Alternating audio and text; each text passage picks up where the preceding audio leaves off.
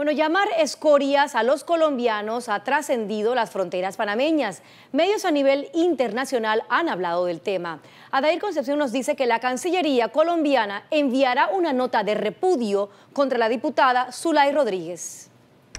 Indignado se siente Rafael Rodríguez, máximo dirigente de la Asociación de Residentes Extranjeros Naturalizados de Panamá, luego de que la diputada del PRD, Zulay Rodríguez, llamara escoria a los colombianos de verdad que nos, da mucha pena este, estos tipos de términos que se están usando en contra de los amigos extranjeros colombianos aquí en Panamá y nosotros fuimos uno de los primeros que siempre estuvimos en contra de estos pronunciamientos e incluso elevamos peticiones a la señora Zulay Rodríguez muy respetuosamente solicitándole de que se corrigiera esos términos. Zulay Rodríguez durante el debate al proyecto de ley que busca eliminar las ferias migratorias conocidas como crisol de razas lanzó varios insultos contra extranjeros. Eh, muy feo la situación que se ha presentado, pienso que los señores diputados deberían corregir más sus términos eh, cuando se expresan eh, a nivel de los extranjeros que recibimos en Panamá que lo único malo que están haciendo es trabajar por el bienestar y el desarrollo de este país.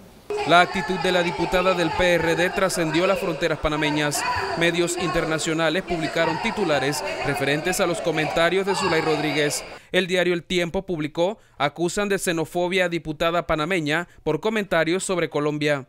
Diputada panameña calificó como escorias a inmigrantes colombianos, esto según publicación del diario El Espectador.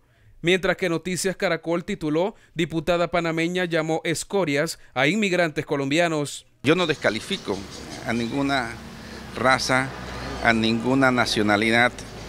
Para mí, todos los pueblos del mundo son pueblos hermanos de nosotros los panameños. Eh, lo que sí es que es necesario una regulación.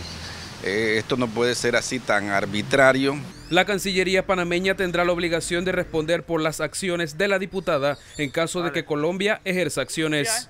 En recientes declaraciones, la canciller colombiana María Ángela Holguín ha dicho que enviará a Panamá una nota de inconformidad y rechazo ante las expresiones de la diputada panameña Zulay Rodríguez. Adair Concepción. Next Noticias.